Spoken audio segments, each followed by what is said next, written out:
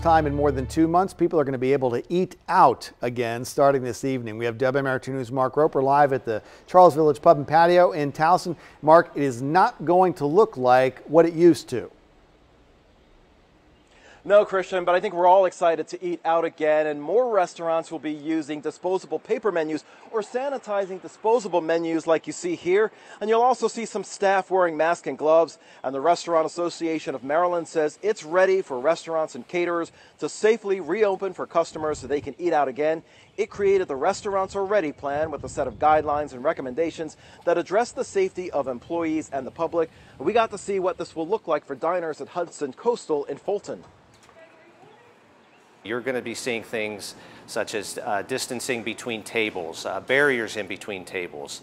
Employees are going to be required to do health screenings before they're allowed to work.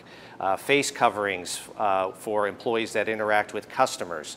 All of these things are just making the extra steps to ensure that our customers are safe and that our employees are safe as well.